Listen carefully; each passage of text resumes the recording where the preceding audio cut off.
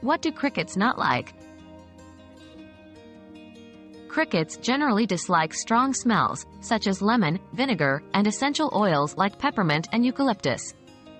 They also tend to avoid areas with bright lights and extreme temperatures, both hot and cold. Placing cotton balls soaked in essential oils or vinegar in areas where crickets are found can be an effective deterrent.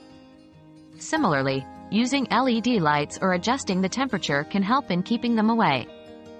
These methods are non-toxic and safe for use around the home.